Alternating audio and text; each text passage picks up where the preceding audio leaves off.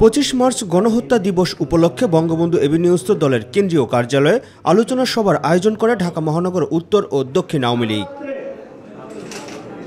আলোচনায় অংশ নিয়ে বিএনপি নেতাদের বক্তব্যের সমালোচনা করে গণহত্যার জন্য পাকিস্তানিদের ক্ষমা চাওয়ার আহ্বান জানান দলের কেন্দ্রীয় নেতারা।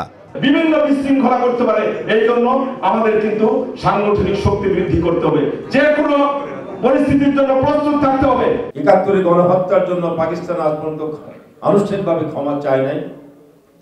আমরা এই গণহত্যার জন্য পাকিস্তানকে অনুরোধ করব আনুষ্ঠানিকভাবে বাঙালি জাতির কাছে ক্ষমা চাইবে তারা আজকে আবার নতুন করে পরাজিত হয়েছে। আমরা একাত্তরে তাদেরকে পরাজিত করেছিলাম। আমরা আজকে আমাদের এই জয়যাত্রার মধ্য দিয়ে তাদেরকে আবার পরাজিত করছি এবং বারবার আমরা পরাজিত করব ইনশাল্লাহ আওয়ামী লীগ সভাপতি মণ্ডলীর সদস্য জাহাঙ্গীর কবির নানক বলেন যারা এদেশের স্বাধীনতা চায়নি তারাই এখন দেশের বিরুদ্ধে ষড়যন্ত্র বেছে নিয়েছেন। সকল পথ লুপ্ত হয়ে যাওয়ার পরে ক্ষয়িষ্ঠ শক্তিতে পরিণত হয়েছে।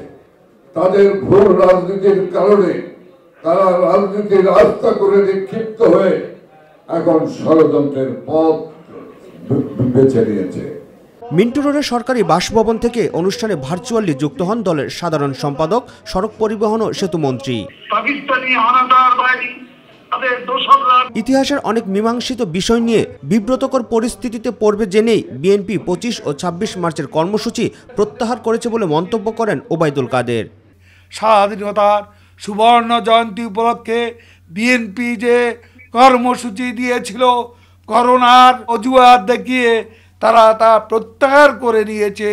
ছাব্বিশে মার্চকে সামনে রেখে ইতিহাসের অনেক মীমাংসিত সত্যের মুখে তারা বিব্রতকর পরিস্থিতিতে পড়বে বলে আজকে পঁচিশে মাস ও ছাব্বিশে মাস পালন না করে তারা কর্মসূচি প্রত্যাহার করে নিয়েছে।